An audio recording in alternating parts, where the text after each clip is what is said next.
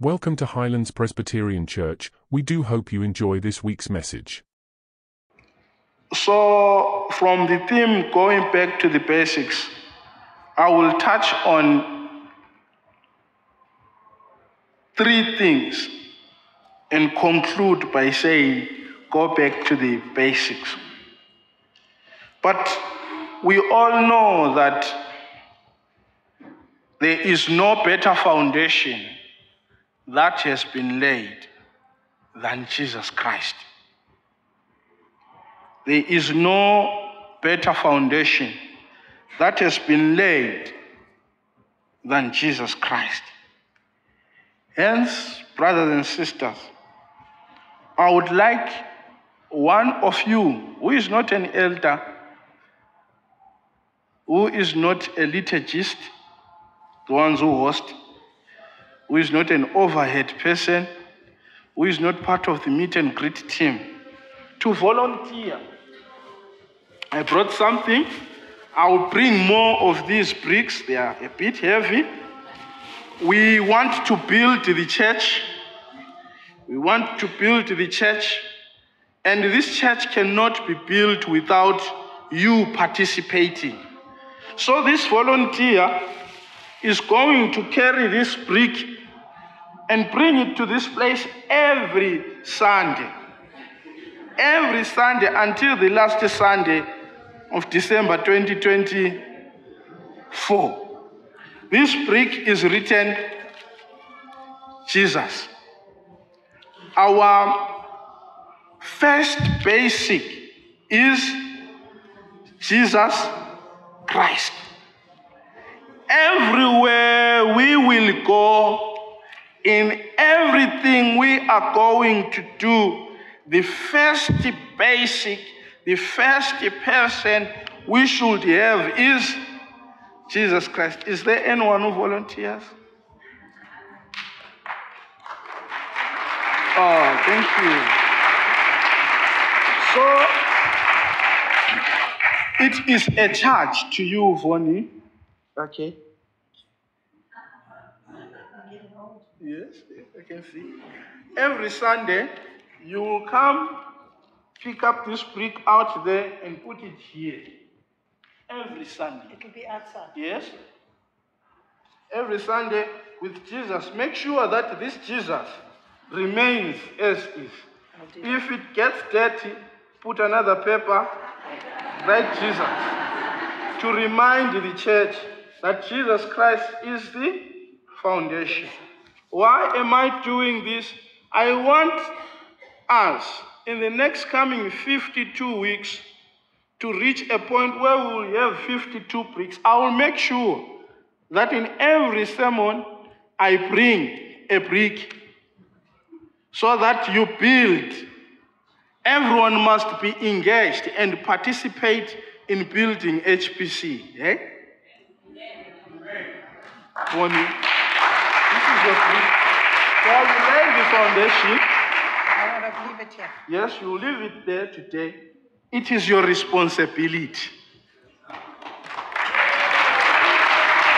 There will be more there every day. I'll, I'll be bringing more. I'll be bringing more. If uh, if I run out of the bricks at home, I'll bring some. thank you. Why am I saying this, brothers and sisters? Paul says in Jesus, continue to live in him. The psalmist says, How can a young man keep his way pure? By heeding and keeping God's word. And the God's word is fulfilled in Jesus Christ, who is the word. When we read John 1, we hear John saying, Christ is the word that was there in the beginning. Continue to live in Jesus Christ at all times. When you are happy, be able to say, Thank you, Jesus. When you are sad, be able to say, Thank you, Jesus. Help me to rise again. continue to live in Jesus Christ. At one point, the disciples decided to desert Jesus Christ in the book of John, chapter 6. And when he had taught them so many things, some said, This teaching is so difficult. This teaching I cannot follow. But the 12 remained with Jesus Christ. And Jesus said to, him, to, to them, Do you also want to follow them, to desert me? Then Peter responded by saying, To whom shall we go? For we have come to believe that you are the Holy One. We have come to believe that in you, Jesus Christ, there is life everlasting. Therefore, brothers and sisters, today the first basic that I want to encourage you to hold on to is to continue living in Jesus Christ. Be rooted, Paul says, be rooted and built in Him. Be rooted in Jesus Christ. Just like the psalmist one would say, as the tree planted next to a river, it never runs dry and bears fruit in due season. So shall we be rooted in Jesus Christ. May Christ be the stream of living waters. May Christ be the one who is our source of strength, source of life, and source of hope. Be built in Jesus Christ. As I brought this brick, I was remember, reminded once again that Christ is the chief cornerstone. When they talk of the chief cornerstone, they say it is that brick that holds the building together. It shapes up the building. Without the cornerstone, the shape of the building doesn't come out nicely. Without the chief cornerstone, the building is not strong. Therefore, Christ is the chief cornerstone that we should be built on. We should hold on to Christ, as the song says.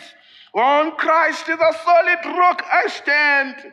All other ground is sinking sand. I call unto you, brothers and sisters, when life throws at you lemons, remember Christ is the only source of strength. Christ is the only one who makes all things new.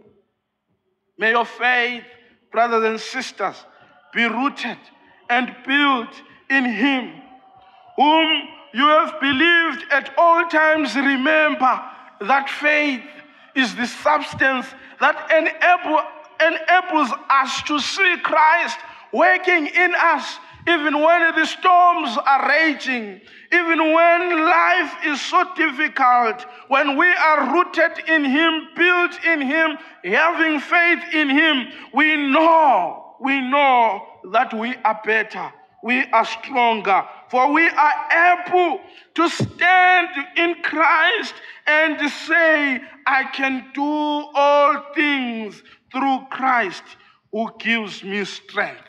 And Peter, in the book of First Peter chapter 5, he reminds us in faith and he says, Be steadfast in the Lord, be steadfast in faith. For the devil prowls like a roaring lion, seeking one to devour. But when we stand firm, knowing that Christ is our strength, Christ is our pillar, Christ is our foundation, we know we will overcome.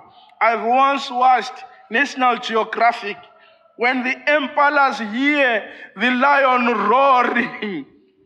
They come and they form a group, and the lion roars. One impala goes astray. When you are not rooted, when you are not built in Jesus Christ, when you do not have faith in Jesus Christ, you are like that impala that leaves the rest and goes astray and becomes prey to the lion. So, brothers and sisters, remain rooted and built in Jesus Christ, knowing that with Christ you are safe.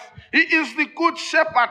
He says to us in the book of John, chapter 10, the devil only comes to kill, steal, and destroy, but I have come to give you life and love in its abundance. And he says, I am the good shepherd, for I lay down my life for my sheep. Therefore, brothers and sisters, remember when you are running and the lion is behind you, continue to sing, saying, I know that my Redeemer liveth. No, I know that Christ, even when everything is so hard, even when I walk through the valley of the shadow of death, I know that his rod and his staff, they shall comfort me. Therefore, brothers and sisters, let us never stop singing to God. Let us never stop praising God, for we are reminded in the book of Jer- Joshua, chapter 5, that when they went around the halls of Jericho, all they did was sing songs of praise to the Lord. They went so many times, but on the seventh time, when they sang and the trumpets were, were shouting and making that noise, the walls were tumbled down. They did not sing to men, but they sang glory to the Lord. So I say to you, brothers and sisters, when all is sinking, when all is hard, another basic is sing unto the Lord. Sing unto the Lord. The song 10,000 Reasons reminds me of something. They say, It's a new day. The sun is dawning and the challenge is coming. But I will sing to the Lord. I will praise unto the Lord. Praise the Lord, O my soul. Praise the Lord, O my soul. Remember, brothers and sisters, through praising and honoring God, when they were in Ephesus, in the prison, the deepest dungeons, Paul and Silas, when they sang unto the Lord, something happened. The shackles were broken, and the gates of prison were open, and the jailer stood and said, Oh, the prisoners are gone. But the Lord stood with them because they praised the Lord. So, brothers and sisters, when things are good, go back to the basics. First basic is Jesus Christ and be rooted in Jesus Christ. Have faith in Jesus Christ. For when you go back to these basics, verse 8 of Colossians says to us deceptive teachings, traditions are going to come.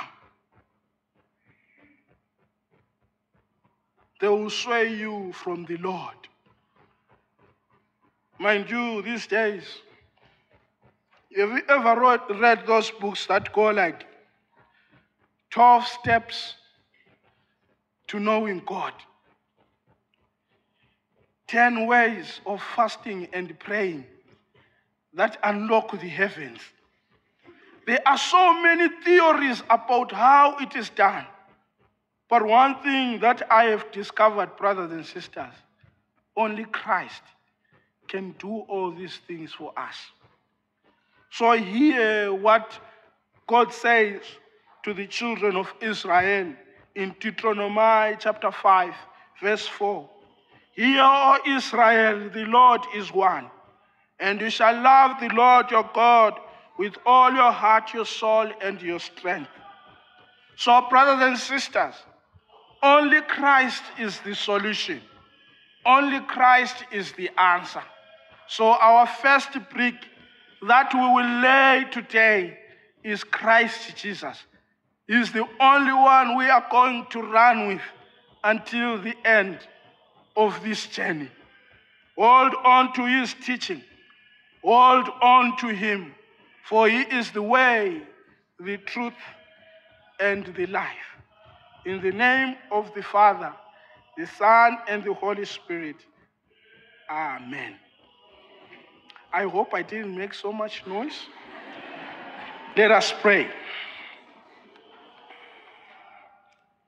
Thank you, God, for your word. Thank you, God, for this reminder.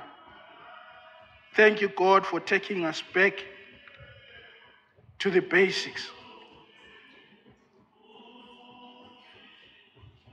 Teach us to trust you. Teach us to hold on to you in the name of the Father, the Son, and the Holy Spirit. Amen.